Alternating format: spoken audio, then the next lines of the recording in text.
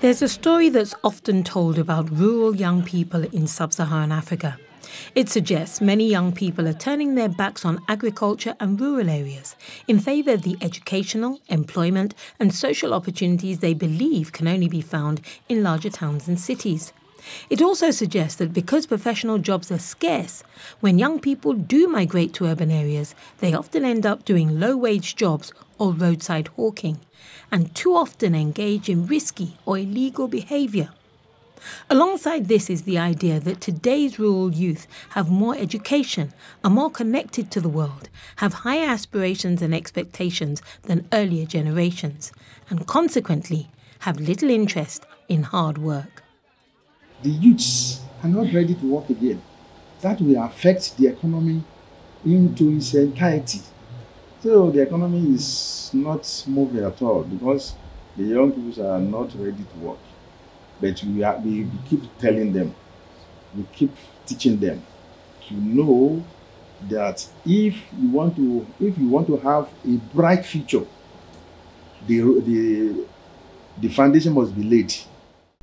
Researchers set out to test some of these orthodox ideas in Nigeria to explore the challenges and opportunities facing young rural Africans as they seek employment and also how they imagine their own futures.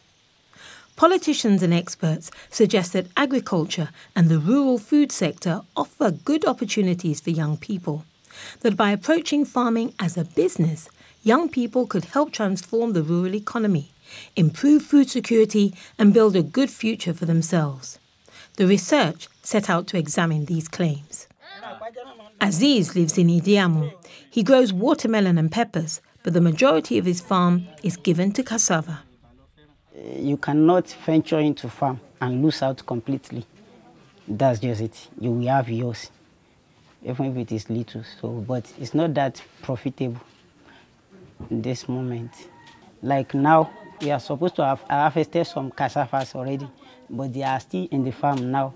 Due to that, nobody will collect it from you. If you take it by force now and take it to the market, it's like as if you just wasted your efforts. My father has been cultivating the farm and when they left, because my father is no more, and I started taking the part they left. So that's what I'm doing. I'm planting farm. I'm happy to be a farmer and I have passion for it. And I don't think that there's something that can claim that away from me in the future. Not now, not ever if you pursue your education along with the farming, it will be quite different from those that are doing it without education. And I am sure if I have my degree, I know it will affect my farming positively. And I will have to go and do a course that is related to farming because I don't want to be separated with it you know, whatsoever because I like farm and because I was born into it and I've adapted to it. Most young rural Africans engage in agriculture or livestock production to some degree, but few of them view farming as a professional entrepreneurial opportunity. Some young people are clear. It's not the hard work, but the dirty physical drudgery of farming that they object to. This is an often overlooked difference between the views of young people and those of their elders and experts. Risikat is still in school, but is also training to be a tailor the profession she hopes will take her to the city. What I see is that when someone wants to work in order to get rich, they don't want hard and tedious work. Some people don't want to work. In this town, if one wants to work and become rich, they will till the ground and do tedious work, but you won't be in good shape anymore. The reason why I don't like farm work is that I don't like dirty work. If you work as a farmer, you will have food, but I don't like to be a farmer and be dirty.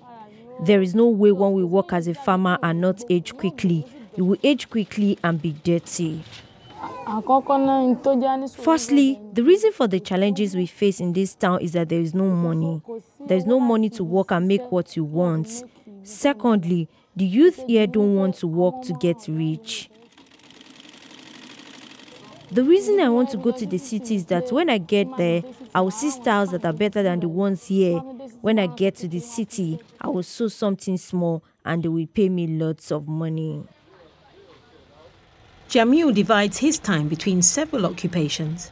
As well as working in farming, he's an Okada rider, using his motorbike as a local taxi service. The reason why I work as a farmer is that everything has its own time. When oranges are in season, I will leave the Okada business and work on the farm. It is when oranges go out of season that I do the Okada business in order to hustle and make ends meet. In the future, I want to keep progressing because I see those who work as farmers and have become rich.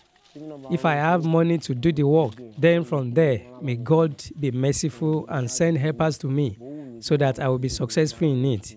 But I am interested in being a farmer if I have the fund to do it in the future.